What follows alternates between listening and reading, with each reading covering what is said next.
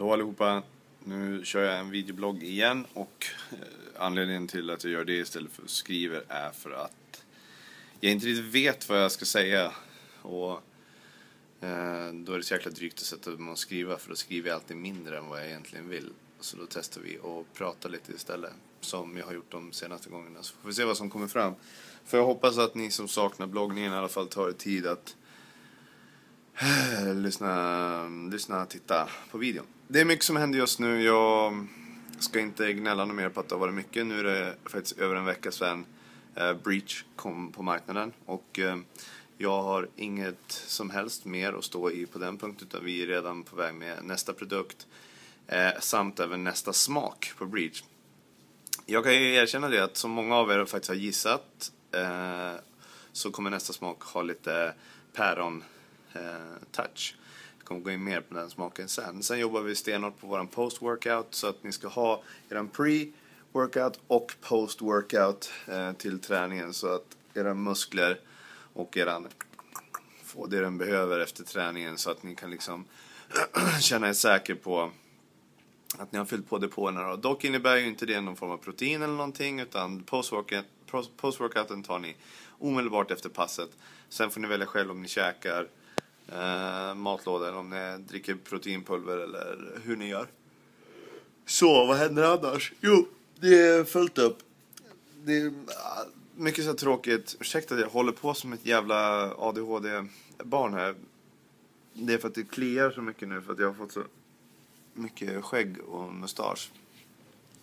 Ganska glest ändå. Så jag rakar ju inte det här utan det här är ju den pinsamma verkligheten. Dock börjar jag få typ hockey nästan. Mm. Är man en läcker bit så är man. Anyway, det är mycket annat som händer. Så um, det praktiska, tråkiga, eller nej, absolut inte tråkiga.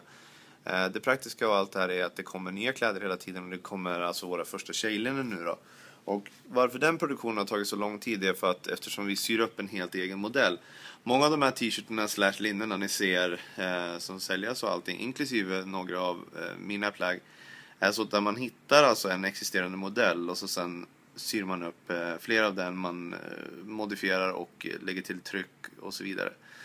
Um, nu har vi alltså sytt upp ett eget eh, tjejlinne och det kommer alltså ha den här fuck lagom-trycket med kungakronan på. Eh, utöver det så har det varit jävligt mycket att stå i med flytt och eh, när det uteblir bloggning och allting så försöker jag alltid skapa innehåll på annat sätt. Så vi har filmat lite matlagning där Justin har fått gjort sina eh, proteinpannkakor och så sen har vi även filmat väldigt kort hans benpass idag. Han är ju känd för sina lårmuskler. Eh, kallas ju för Quad God. Och eh, Quadzilla. Dock vill han eh, nämna att det är ingenting han själv har kommit på eller hittat på utan det var Muscle and Development, eh, tidningen MD som den kallas, som döpte honom till det.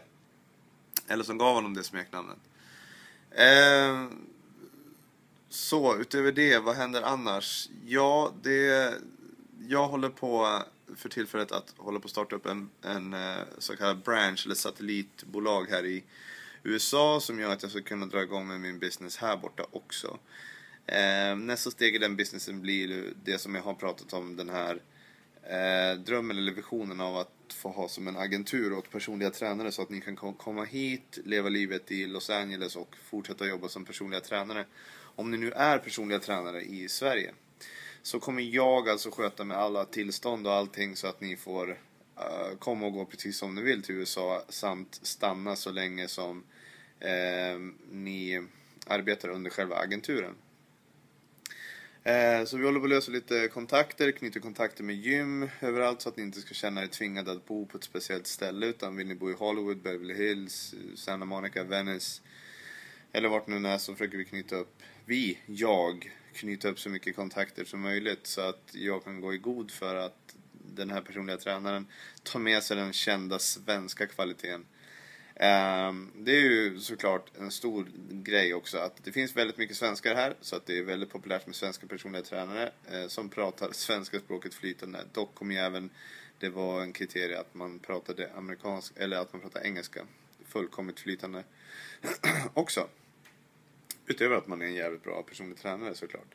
Mer om det kommer. Det ligger långt fram men det är det endgamet när det kommer till själva bolagsöppningen eh, här borta. Um, Eh, även då börja sälja Breach internationellt. Så vi håller på att kolla på, eh, ha lite möten med återförsäljare här och då i första hand online återförsäljare.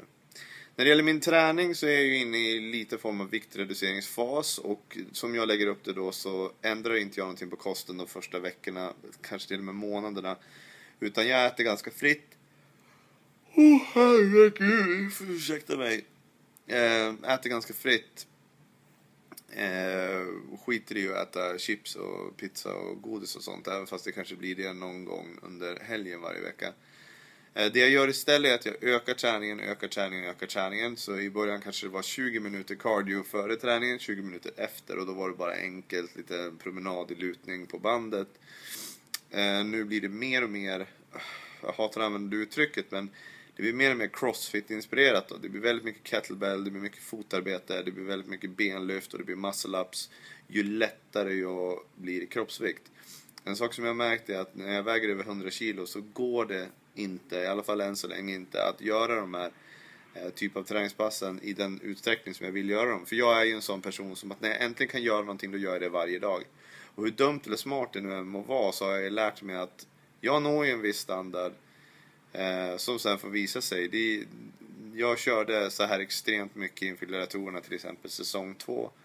Och det gick väldigt bra då i ringarna. Och en stor anledning varför det gick bra i ringarna var för att jag tränade i princip varje dag. Så nötte jag kroppen för att klara av den här påfrestningen och eh, ha den här hävstyrkan i, i överkroppen. Ehm, sen även fotarbetet som jag arbetade upp från säsong 1 och som fick visa sig i attackbollen där också gick väldigt bra. Nu får vi se hur det liksom blir med gladiatorerna. Vi väntar fortfarande på svar därifrån. Nästa helg ska jag göra fystesterna eh, för produktionen och visa vilken nivå jag ligger på. Ehm, så får vi se vad som händer därifrån. Ehm, vad ska jag säga mer? Jo men i alla fall så sen då med cardion och träningen så gör jag så att jag fortsätter, jag ändrar inte på kosten, jag rör inte kosten överhuvudtaget. Jag ökar istället eh, träningsmängden. Steg för steg för steg. Men fy fan, förlåt alltså. Jag vet inte vad det är med mig. Jag är sjukt jävla trött i alla fall. Eh, så jag ökar träningsmängden hela tiden. Sjukt konstig grop jag har där på biceps, kolla. Ser ut som det är någonting som lever under där.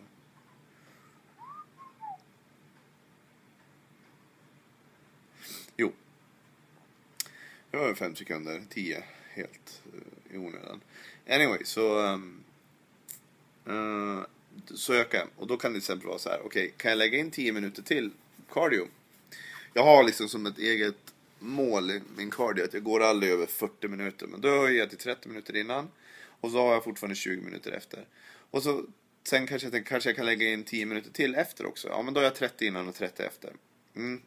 Och så kanske jag börjar höja, lägger in ännu mer cardio, alltså high intensity cardio i form av kettlebells, burpees, uh, box jumps, battle rope, uh, muscle ups och köra serier på dem, kanske 10 varv När man kör 10, 10, 10, 10. Alltså det, går, det är så lätt, det är så lätt att titta på. Det enda det handlar om det är att liksom få upp uh, pulsen. Och uh, så då ökar, ökar, ökar och när när jag då till slut svarar nej på frågan om kan jag öka ännu mer, kan jag öka här eller kan jag öka där? Om jag då säger så här, nej men det kan jag faktiskt inte göra. Då gäller det att respektera det. Och då, om jag då liksom stannar eller stagnerar i min viktnedgång, då korrigerar jag kosten. Nu är det så här att om jag inte äter godis och inte äter chips och pizza och så vidare, utan jag äter tills jag är mätt och sen tränar jag tills jag inte orkar träna mer och så gör jag det varje dag då blir det naturligt så för mig att jag går ner i fettprocent. Så att jag, man kan säga så att min kropp by default så shreddar den om vi ska använda den termen. Jag hoppas ni förstår vad jag menar. Jag, det, poängen är alltså att om jag inte gör någonting, om jag bara tränar och inte äter skräp, då blir jag automatiskt, alltså, och får bara fortsätta så, då går jag ner i vikt. Sen är det såklart att man ska komma den där lilla, den lilla boosten, den lilla turbon på slutet som gör att man blir riktigt jävla hård och fin och räfflad. Ja, då måste, måste jag ta tag i själva kostbiten. Skära ner på kolhydrater. Eh, en aning.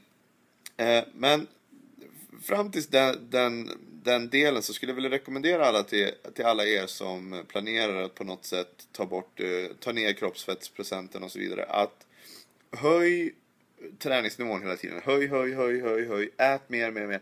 Få upp er förbränning något fruktansvärt. Alltså ha en enorm träningsvolym kontra liksom diet och att ni äter mycket. Få i er allt, all protein, bra kolhydrater, bra fetter. Och när ni har den liksom, dieten klar. Jag menar, när det, är så, när det är så fritt på kosten i form av fett, kolhydrater och protein. Då går det att äta jävligt gott. Liksom, det går liksom Eh, kokosmjölk, eh, kyckling, olika thai-grytor, eh, ris, potatis, sötpotatis, sötpotatismos med kanel till exempel. Rostad sötpotatis i, i ugnen. Um, grilla kyckling, marinera kyckling. Alltså ni har så mycket friheter i början så det är verkligen bara att äta tills ni bara Oh fuck, liksom nu går det inget mer. Um, och så kör ni bara på så. För sen Ja men sen gäller det ju såklart också att ni faktiskt får fucking träningen gjord. Men av egna erfarenheter så är det så att det har aldrig varit något problem för mig att få iväg arslet till gymmet. Uh, inför, inför säsong 2 gladiatorerna så tränade jag utan problem 4-6 timmar per dag. Varav kanske en timme utspritt däremellan var liksom olika former av pauser, breaker där man gick upp och fyllde på kanske med aminosyra eller att man tog någon proteinshake däremellan när man ställde om den typ av träning man gjorde.